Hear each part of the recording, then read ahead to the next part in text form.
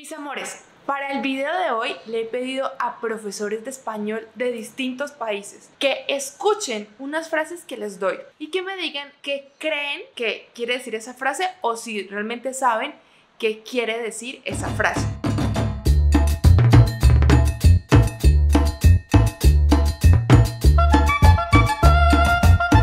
Hola mis amores, bienvenidos una vez más a Español con María. Yo soy María y este es mi canal de YouTube para ayudarles a aprender, practicar y mejorar su nivel de español. El español se habla en más de 20 países del mundo. Colombia es el segundo país que tiene más hispanohablantes. Yo soy colombiana y hoy he querido elegir una serie de expresiones y de palabras que usamos los colombianos en el día a día y quiero ver qué tan fácil es para que otros hispanohablantes puedan comprender lo que decimos.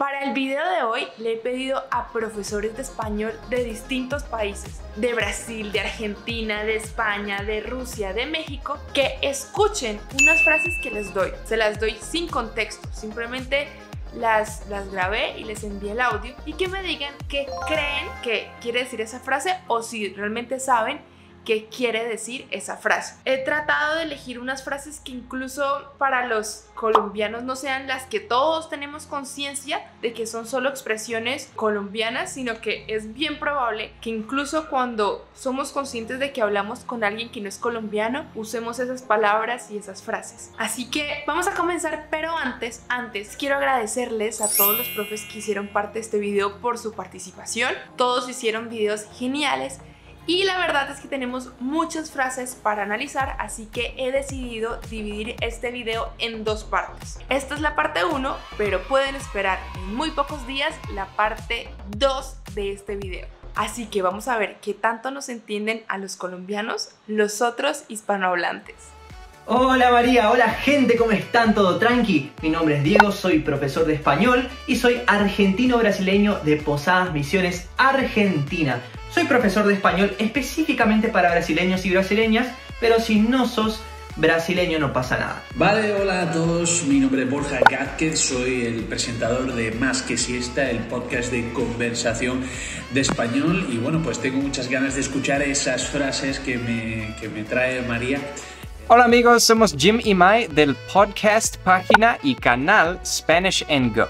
Yo soy de Colima, México y Jaime o Jim es de Minnesota en Estados Unidos y hoy vamos a adivinar algunas expresiones colombianas, a ver qué tanto sabemos. Hola, me llamo Belly y soy profesora de español. Vivo en Brasil y les doy clase de español a los brasileños. Soy brasileña. Te cuento, Mari, que es todo un gusto estar aquí. Es todo un honor estar aquí formando parte de este vídeo. Hola, buenas tardes. Yo me llamo Elena y mi canal se llama Linguriosa. Hola chicos, soy María y soy de Rusia. Hoy vamos a adivinar algunas expresiones colombianas que son bastante difíciles.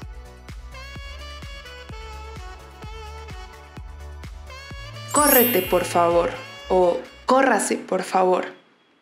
Bueno, a ver, esta en España mmm, no se podría decir. Bueno, se podría decir, pero tiene otro significado, un poco más travieso. Pero yo sé lo que significa. Es échate hacia un lado, muévete. Y sé lo que significa porque lo he escuchado muchas veces. Tengo muchos contactos. Esta frase se puede escuchar en, el, eh, en un concierto, ¿no? En, en el cine, si, si, hay alguien al lado de, o en tu asiento, ¿no? De, decirle, por favor, córrete, muévete a, a otro lado, ¿no? Sí, sí, hágale. Hágale. No sé, me imagino que imitando, imitando a alguien, hace este tío, hace esta cosa, eh, hágale.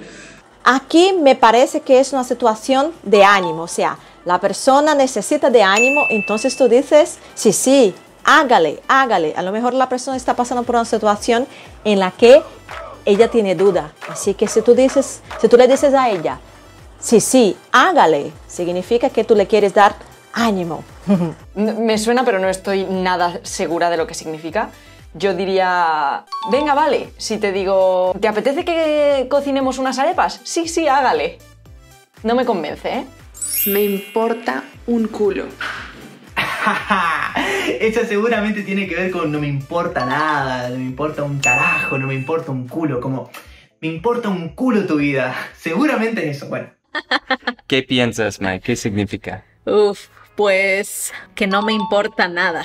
Sí, yo creo que sí, que no me importa absolutamente nada lo que dijiste o lo que hiciste. No estoy interesado. Favorito, chicos. Me gusta muchísimo, de verdad, cómo suena. Ah, pero yo creo que eso significa que mm, no te importa nada. Ah, no te importa esta cosa. No te, no te importa esta cosa nada, así. No hay que dar papaya. Vale, no hay que dar papaya. No, no vamos a darle más vueltas a esto. Ha pasado, ya está. Vale, esta sí suena muy latina, ¿no? No hay que dar papaya. ¿No hay papaya? ¿Será no hay más que hablar? ¿No hay papaya? Voy a pensar un poco en portugués y yo diría que dar papaya me hace acordar un poco a, una expresión en portugués que es das mole, que es más o menos como, por ejemplo, si estás en Río de Janeiro, por ejemplo, una ciudad que, tiene sus peligros y sabes que la gente te puede robar en la calle si andas muy descuidado o descuidada. Entonces no, no podés dar mole, no podés dar papaya y, e ir allá y que venga alguien y te robe porque estás caminando con el celular en la mano o hablando con el celular en la calle, algo así. Ah, esa sí la sé.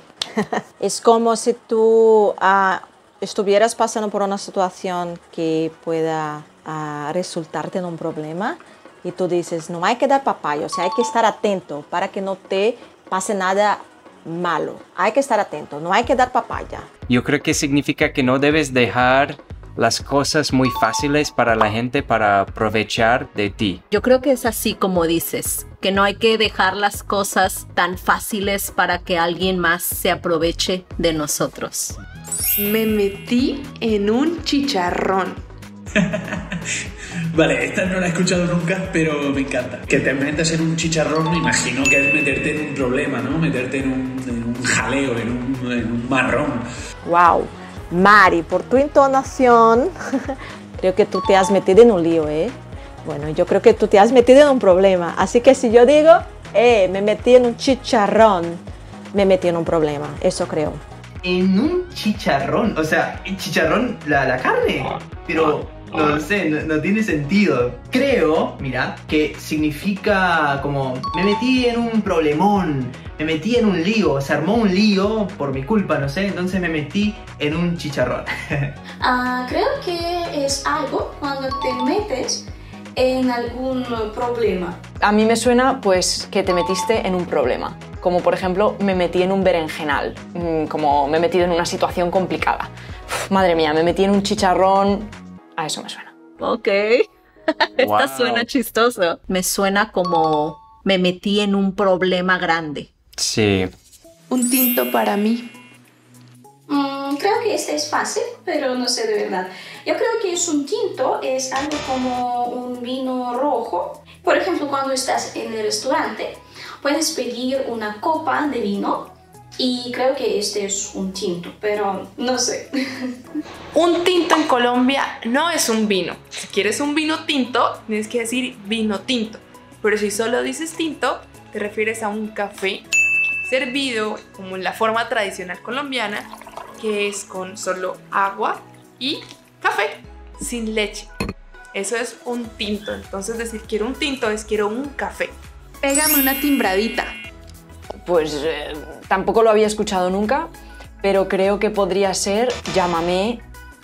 Yo diría que es llámame a casa, por el timbre, ¿no? Llamar al timbre. Me puedo imaginar que es pégame un toque, ¿no? Como diríamos nosotros, pégame un toque, que es como eso, ¿no? Pues de, oye, avísame cuando algo... El celular, cuando te llaman, timbra. ¿Listo? Entonces, pégame una timbradita, sería como dame una llamadita. Tú hablas con tu hermano y tu hermano eh, está en una fiesta y tú vas a ir por él a la fiesta. Entonces le dices, cuando estés listo y quieres que te recoja, pégame una timbradita y yo voy por ti. Eso es, pégame una timbradita. Ahí voy, ahí voy.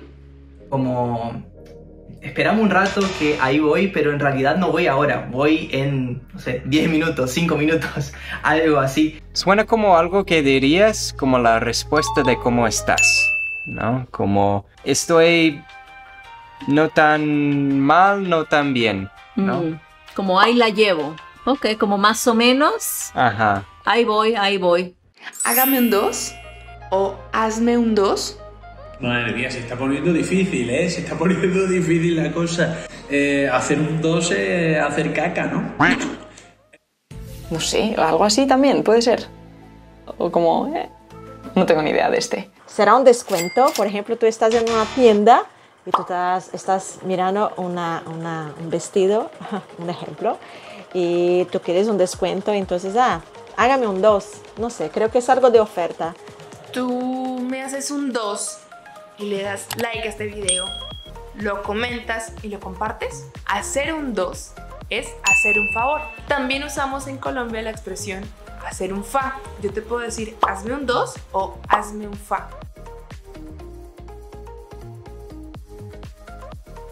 Muchas, muchas gracias a todos los profes que participaron en este video. El resultado me encantó y siempre serán bienvenidos en español con María. Y mis amores, a ustedes muchas gracias por su cariño y por haber visto este video. Y recuerden que tenemos parte 2 de expresiones colombianas para ver qué tanto nos entienden en otros países hispanohablantes a los colombianos. Así que esperen muy pronto la parte 2.